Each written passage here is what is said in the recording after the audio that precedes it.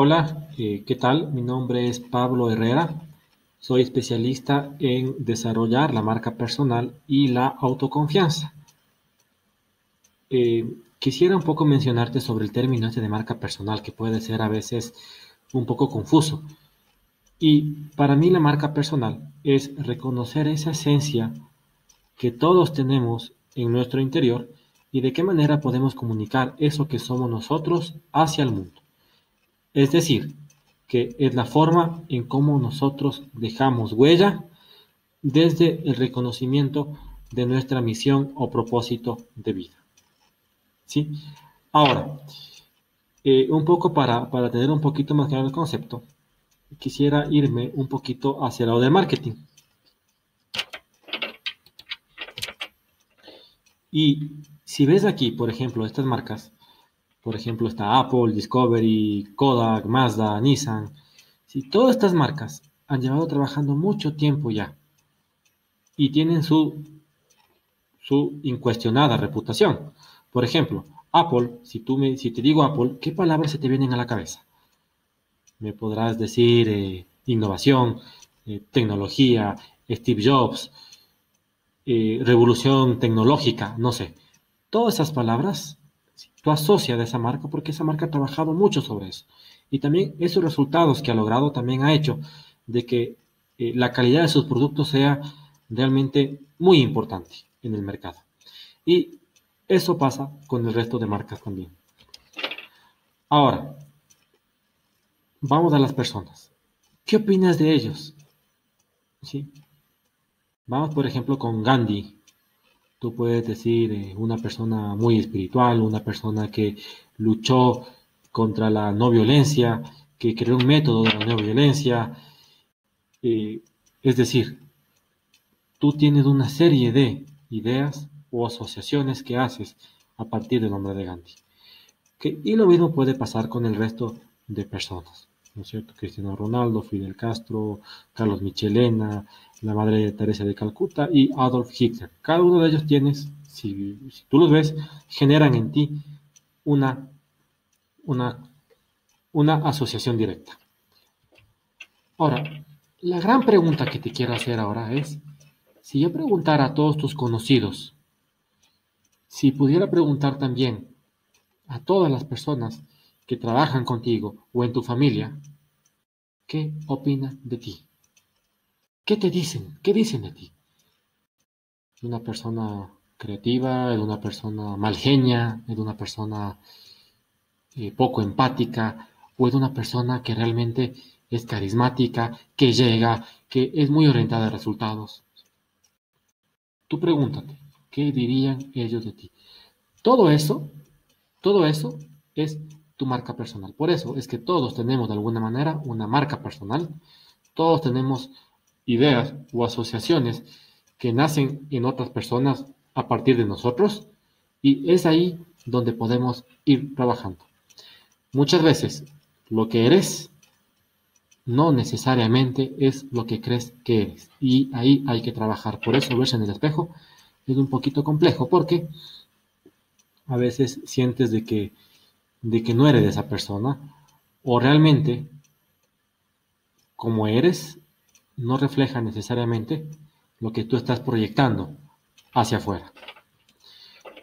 Entonces, ¿por qué desarrollar tu marca personal?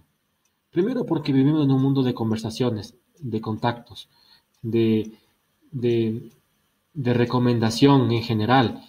Ahora Casi todo en el mundo es conversacional, la venta cada vez es más relacional. Para conseguir un trabajo tienes más probabilidades si sabes relacionarte bien. Para conseguir algo que tú quieras en tu vida, tienes más probabilidad de hacerlo si que tú te relaciones con diferentes personas y has trabajado tu red de contactos. Entonces, esa red de contactos se fortalece con lo que yo estoy comunicando también. Cómo yo voy creando ese espacio para yo poder compartir eh, realmente mi talento natural que yo tengo. Ahora, ¿en qué consiste esta fórmula?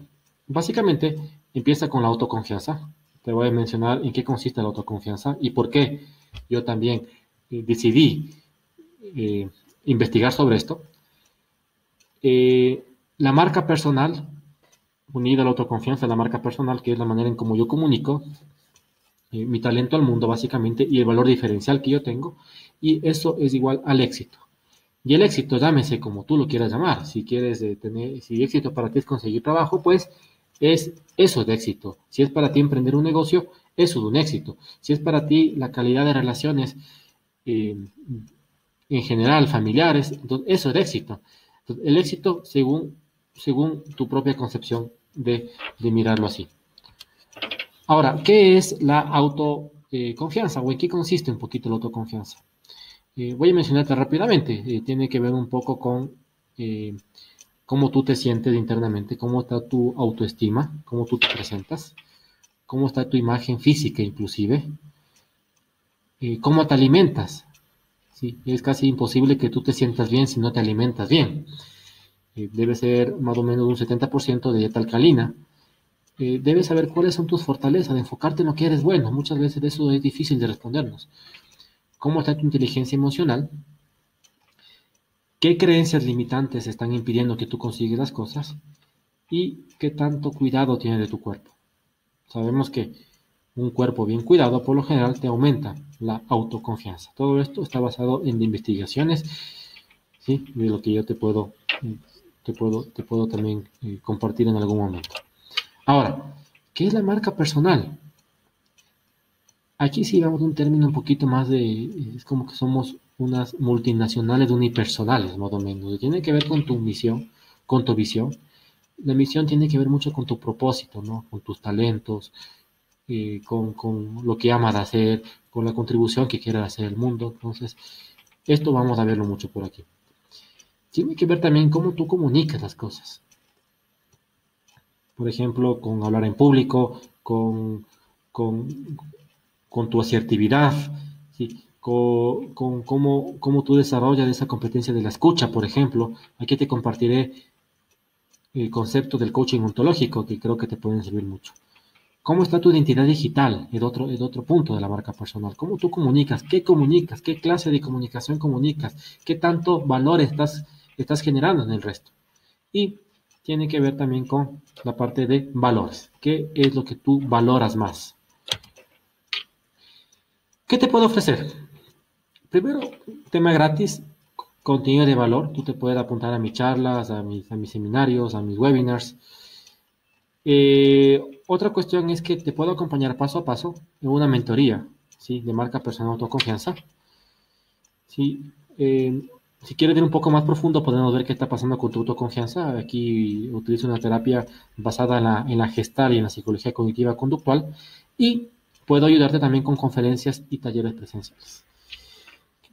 Y la invitación final es que seas parte de mi comunidad.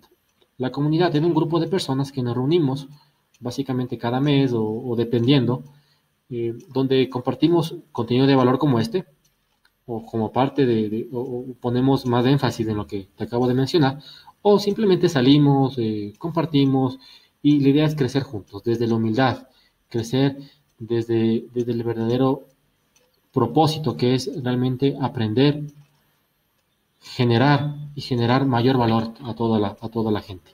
Así que la invitación es que seas parte de mi comunidad. Que pases bien y que tengas un excelente día. Chao.